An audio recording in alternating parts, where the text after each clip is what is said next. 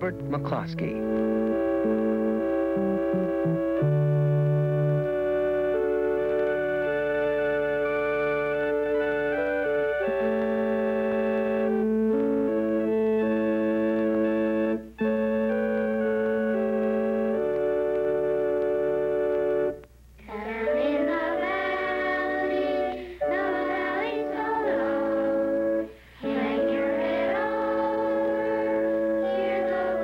In the town of Alto, there lived a boy named Lentil.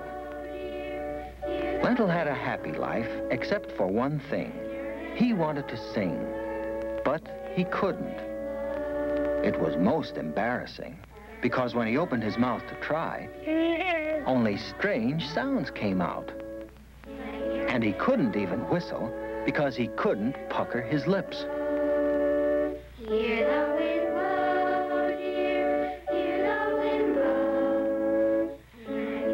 But Lentil did want to make music. So he saved up enough pennies to buy a harmonica.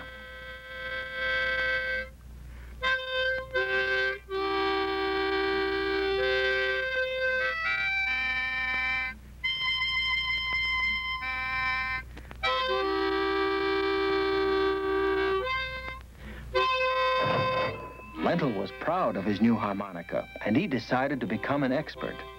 So he played a lot, whenever and wherever he could.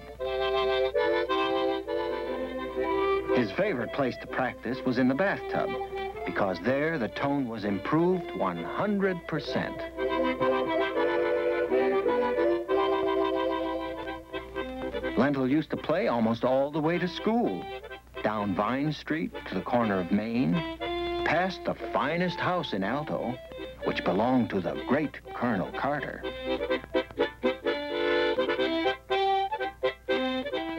Then past the drugstore, the barber shop, and the Alto Library, which was a gift of the great Colonel Carter.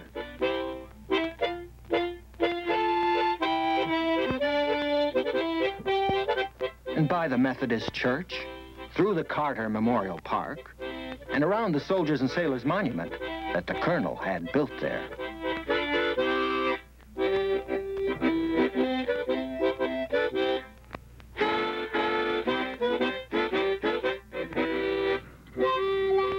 People would smile and wave hello to Lentil as he walked down the street because everyone in Alto liked Lentil's music.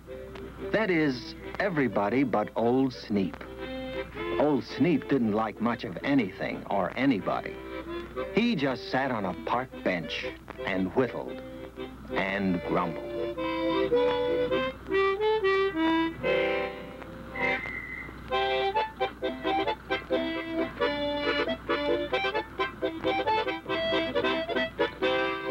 One day, the news got around that the great Colonel Carter, who had been away for two years, was coming home. People began to plan a grand welcome. But when old Sneep heard the news, he said, "Hm, we was boys together. He ain't a mite better than you or me, and he needs taking down a peg or two. Sneep just kept right on whittling, but everybody else kept right on planning. Colonel Carter was the town's most important citizen. So the mayor prepared a speech. The people hung out flags and decorated the streets. The Alto Brass Band put on their new uniforms, and the printer, the grocer, the plumber, the minister, the barber, the druggist, the iceman, the school teachers, the housewives and their husbands and their children, yes, the whole town went to the station to welcome Colonel Carter.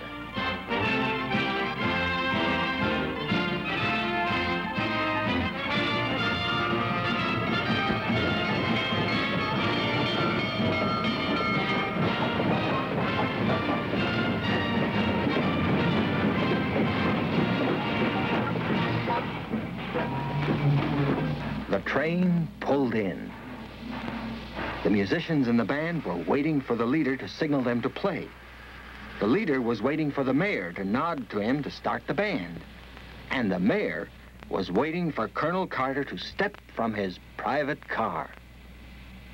All the people held their breath and waited. Then there was a wet sound from above.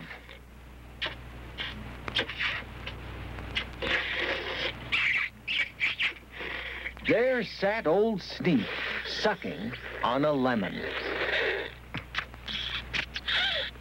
Old Sneep knew that when the musicians looked at him, their mouths would pucker up so they could not play their horns.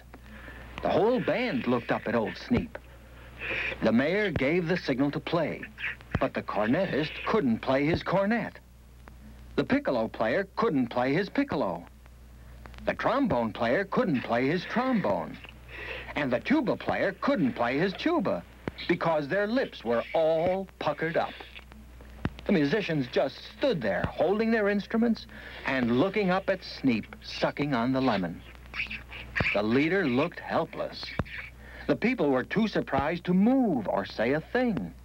And the mayor wrung his hands and wore a look that said, Can't somebody do something, please? As Colonel Carter stepped from his car, the only sound was the noise of Sneep's lemon. Clouds began to gather on the colonel's brow, and he said.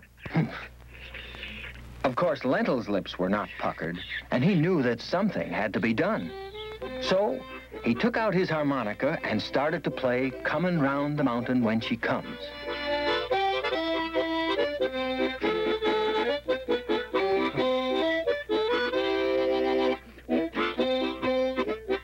When Lentil began to play the second chorus, Colonel Carter smiled.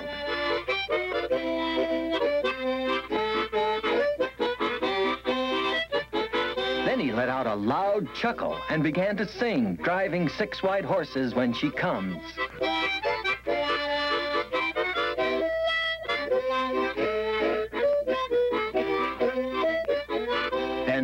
Everybody sang, and they all marched down Main Street behind the colonel's car.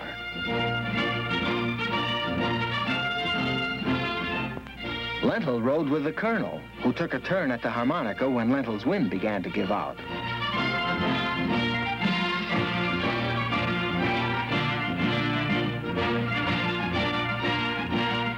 They marched to the colonel's house and paraded through the gate and on to the front lawn. The mayor's committee served ice cream cones to all the citizens. And Colonel Carter made a speech saying how happy he was about such a fine welcome and how happy he was to be home again. When he said that he was going to build a new hospital for the town of Alto, everybody was happy, even old Sneep.